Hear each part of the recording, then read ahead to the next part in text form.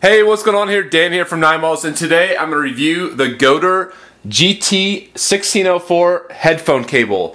This is professional stereo audio headphone cable cord, and I received this item as a discount. They sent it over, so I appreciate them for doing that, but I'm going to give my honest review of it. So this is high-end, or at least they, that's the claim, uh, audio cable.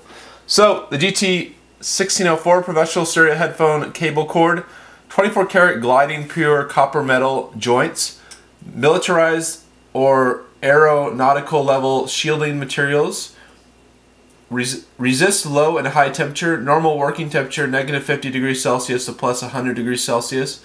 100,000 times professional aeronautics joints swing test, 100% handmade or personal customization.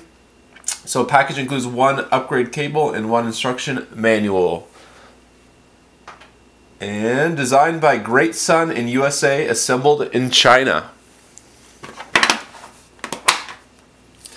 Alright, so I'm opening it up. It came, comes in a nice metal box.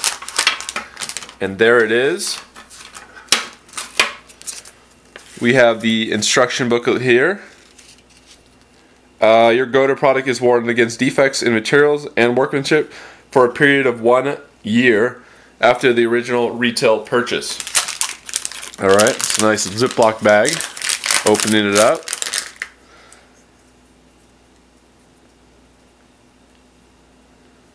And there it is.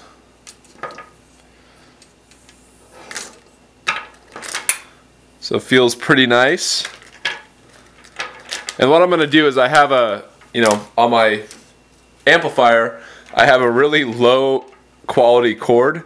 I'm going to replace that low quality cord for this one. And, you know, the old one, I'll show you, it kind of crackles when you move it. And let's see if this one does the same thing. See if, you know, test the comparison in the, the, the quality of the sound. But just looking at it so far, it does look really nice. I like the ends of this. The cord is a nice kind of thick rubberized uh, material that doesn't really get, you know, all twisted up or thing, you know, anything like that and nice metal pieces on the end here. So it looks good so far. I'm gonna try it out on my amplifier. All right, so let's plug it in and see how it sounds. I have some royalty-free music here, and I'm gonna plug it in. It's kind of an optical illusion. It looks like these cords are massive and they wouldn't fit in your cell phone or your speaker. Um, they do look very substantial. All right, so here we go.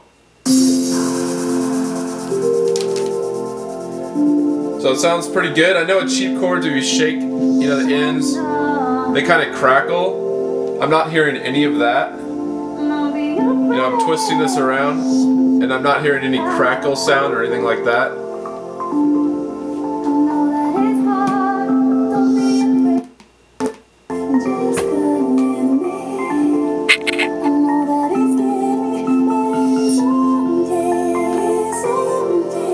Some, to some of the bass here. So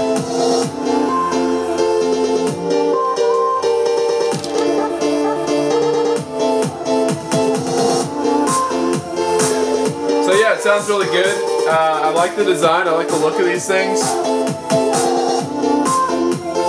And they, you know, they appear to be high quality. All right, just as a comparison, I'm going to show you with a cheaper cord. This is kind of what happens, what I've noticed. Um, when you move it around, like I was doing with the, the uh, Gotor cord, let me see if I can get that better, but you hear that little crackle? Um, sometimes when you move around kind of a really cheap cord, you get that crackling sound, and that's kind of the case with this. This is a very, this is included with one of my uh, speakers. It's just very cheap. All right, so do I recommend the Gotor GT1604? The answer is yes. I think they're good design, made of quality materials, and they're still, you can still find them at an affordable price. Um, no downside that I can see. You know, they don't crackle. Uh, the sound sounds good, sounds quality. So I do recommend this product. If you like my videos, please subscribe. And if you want to support it, go to patreon.com slash 9malls.